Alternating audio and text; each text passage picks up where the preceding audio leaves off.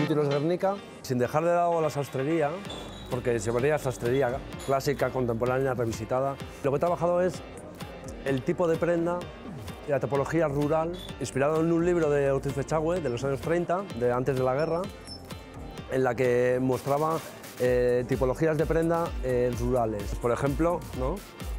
lo que he trabajado es como una especie, el blusón, la lequeicharra, por ejemplo, que es una prenda típica vasca, tiene aquí unos fuelles, ¿vale? Entonces la prenda se construye con dos costuras. Por ejemplo, hago cuellos bomber, pero si lo abro tiene esta, esta situación, ¿vale?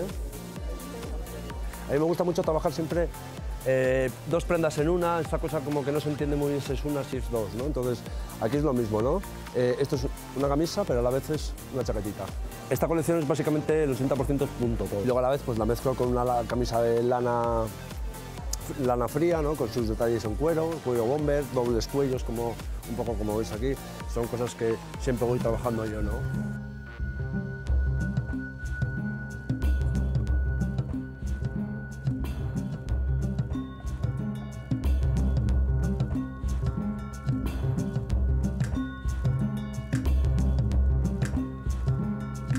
Spawn inside this memory again.